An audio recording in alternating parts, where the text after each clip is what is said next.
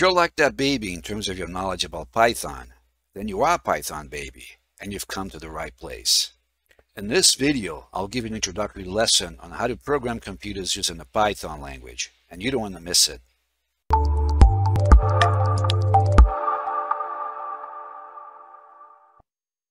Python is one of the most popular and powerful programming languages in the world. It's used in robotics, artificial intelligence, deep learning, data science, and many other cool applications. Before I get into the primary content of this video, I just want to say a word about closed caption and subtitles. For those of you who are watching this video in a country where English is not the primary language, these are the steps you should take if you want to see the closed caption or the, the subtitles in your language. If you're doing this on the phone, let's say, for example, you want to see the captions in Portuguese. Then you click on the video, go to settings, you click on CC or closed caption, subtitles. And then you activate auto translate. You choose Portuguese as your language. And you got to make sure that the CC or closed caption is is turned on. But if you want to do this on a computer, just open your browser, type YouTube, click on the link. You can pick any video. So I'm going to pick uh, this one here.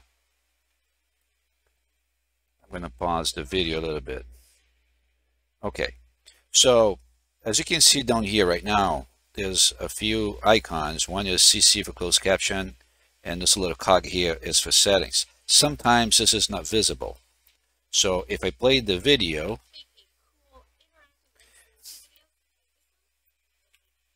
so if it disappears, all you have to do is bring the cursor over the video. So this will show up down here.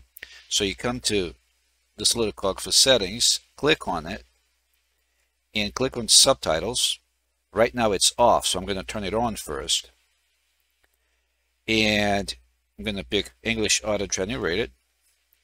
So now that's working, I'm going to go to subtitles again and choose Auto Translate. And now I can just pick a language that I want to see captions on. I'm going to pick Portuguese just as an example to be consistent. So you choose Portuguese. And now when you play the video,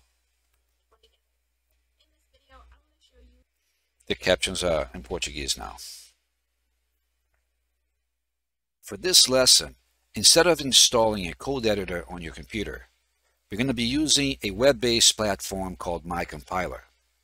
With MyCompiler, you have nothing to download to your computer, so you're not going to get stuck on the technicalities of how to properly install a program in your computer. And you can save your work. And above all, it's very, very easy to use. If you find this to be very easy, let me know. If you find it to be difficult, let me know as well okay? So the first thing I'm going to show you is what you're going to need in order to start learning how to program computers. I'm going to take you to a site called my compiler. MyCompiler like that. And uh, the first link that appears is the correct link so I'm going to click on it once. And what you see here is a number of icons that represent different programming languages okay? So the language we're going to be programming in is Python this one right here. But before we click on this I just want to show you something. As you can see here I'm already signed up so let me just get out of this here. I'm going to sign out and show you what it looks like in the beginning. So this is what it looks like when you haven't registered with this website. There's a sign up that's where you register. All you need is your email address and the password. And then once you register you can just log in. And the advantage of logging in is that anything you're working on you can save it and then you can review it later. So I'm gonna log in now. And again so you can see the process. And then we go from there. Let's see So I'm there now see my name appears over here. And as I bring the cursor right over my name, you can see there's account settings and there's my programs. So once you have your account, which is a free account, you can have all your programs saved right over here. So anytime you want to review those uh, programs you create, you can just go and click here. You can also modify your programs, update them, or share them. You can do a lot of things. All right. So like I said, we're going to click on this here first, Python. And I'm going to remove this from here. I'm going to start from the basics. So I'm just going to write a note here to myself what we're going to cover here. We're going to discuss, we're going to review uh, MyCompiler, which is going to be pretty quickly. And then we're going to write your first program. Write your first program, okay? So in continuing reviewing the compiler, there's this button over here called recent. If you click here, you're going to see, even if you haven't registered, you're going to see uh, all the programs that have been updated or uploaded by people who are using this platform uh, to write code. So you're going to see the programs that you uh, save yourself or that other people save. You don't have to save your programs, but if you do, I think it can be helpful. All right. But if I were you, I only I would only save your programs once you're registered because now we can easily find them back. Like I said, by going here and going to my programs. So anytime, let's say, let me show you my program. So if I click on recent, it says, you want to leave this page? I say yes. And then, actually, these are uh, recent. These are all the programs that have been uploaded by other people as well. Okay. So once you have yours registered you can just go to my programs. Now you can see all the programs that I have uploaded. So you're going to see at C cPunchworm up here. That's because these are programs that I uploaded myself.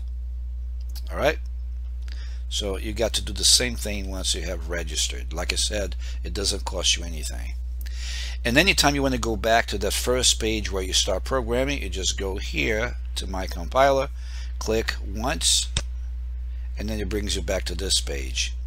We're gonna click on Python again and then we're gonna start with uh, writing code as soon as I finish reviewing MyCompiler. So there's three tabs over here. There's code input and output. When you are on a certain page on a certain tab it's blue. So that means that we are on the code tab right now. That's where we can write code.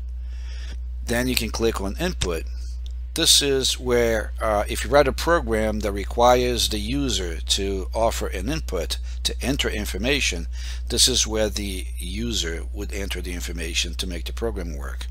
And then the final tab, output, is where you're going to see the result of your program after it's run. Okay?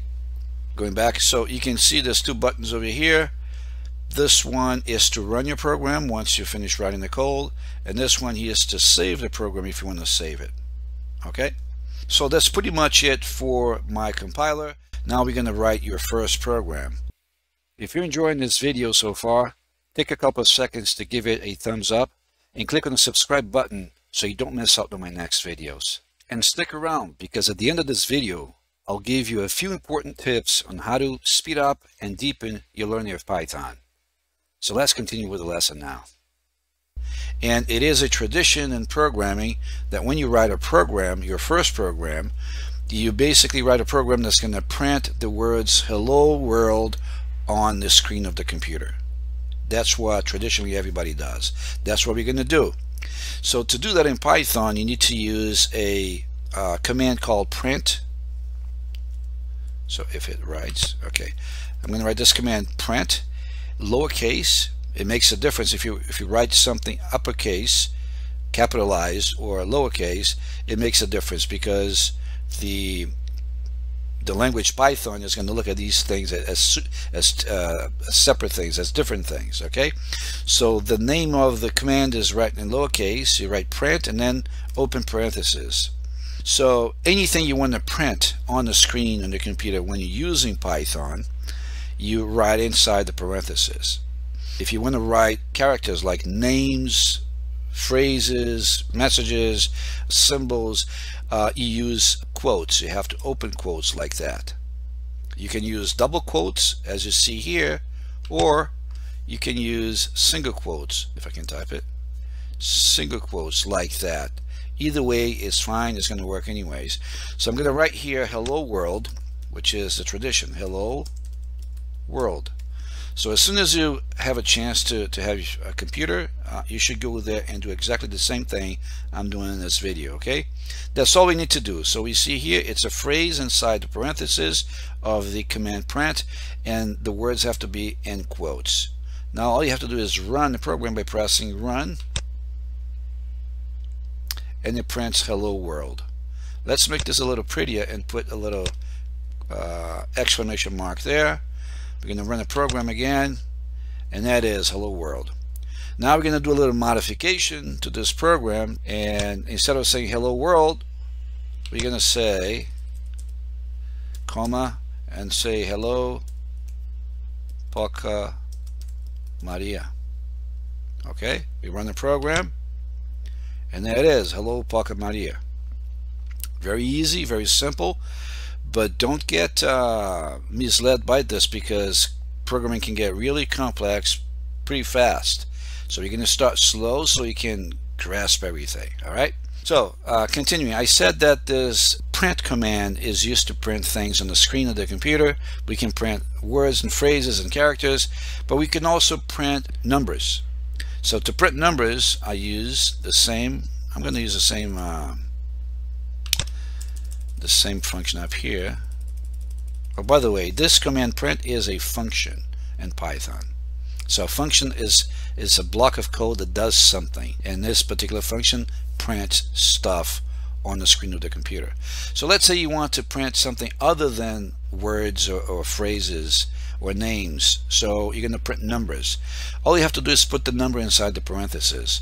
No need to put quotes. Okay, let's say 5 if I want the computer to print 5 on the screen, when I run the program by pressing here, it's going to print 5 there. So 5 here is a number. However, if I do this, put 5 inside quotation marks, now this is not a number anymore. This is a string.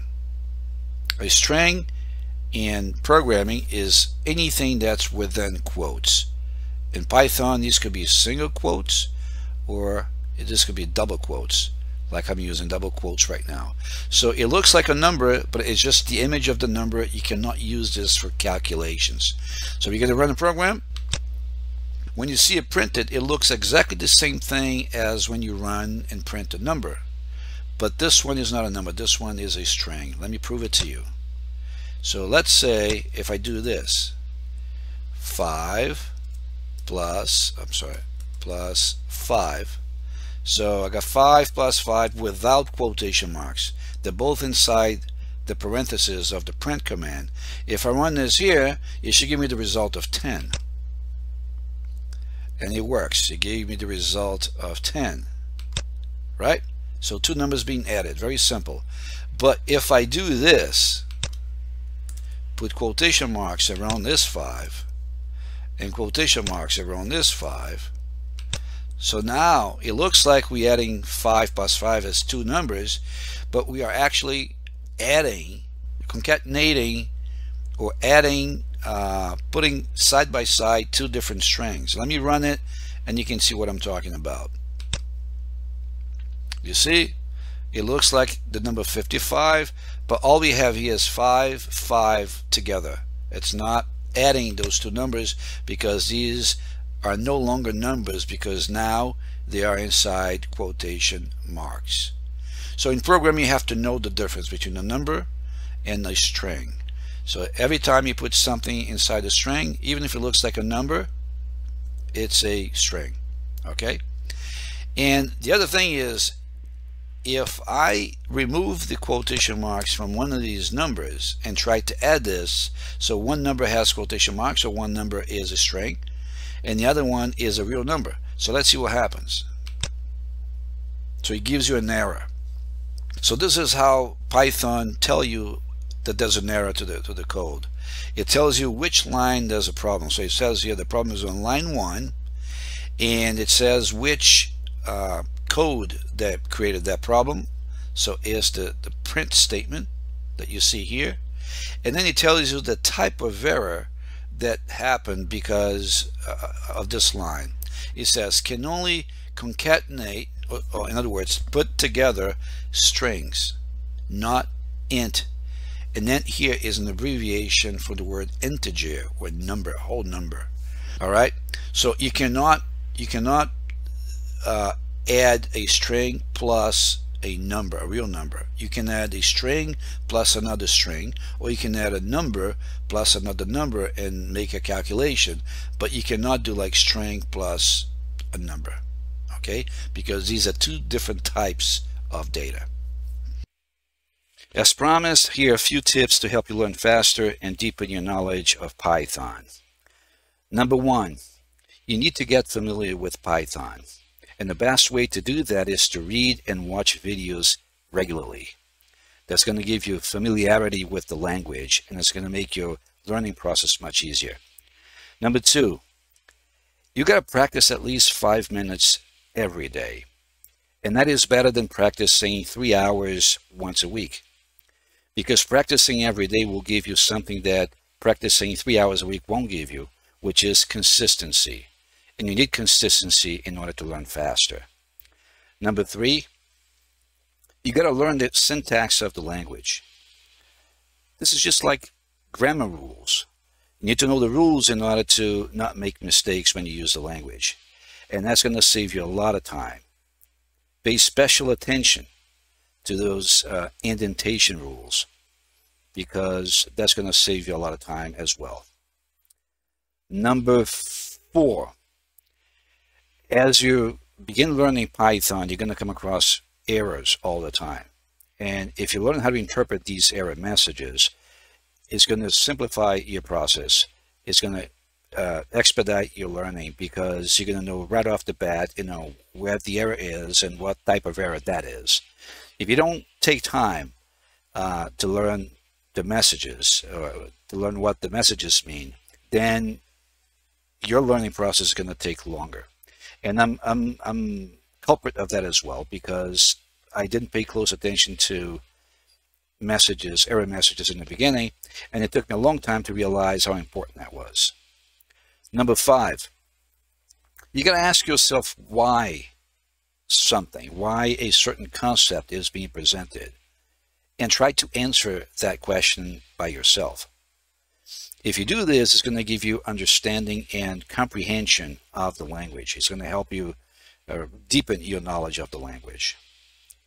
Number six, think of ways to apply what you learn. I mean, if all you do is copy what, what people present, what I present, then uh, you may be able to memorize sequences of instructions, of instructions.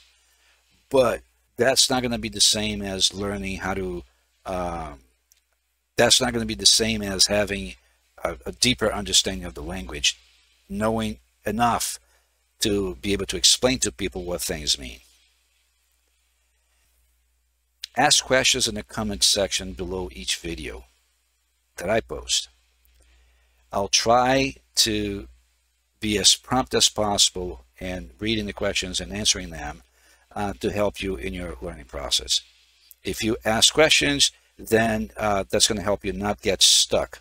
Because when you get stuck, you may get frustrated and you might even think about giving up on learning how to program because you think it's too hard. So the moment you start getting stuck on something, just post a question and I'll try to answer that as fast as I can. Make sure to check out my next video on variables. And if you haven't watched my video on binary tree yet, just click on its thumbnail I'll see you next time.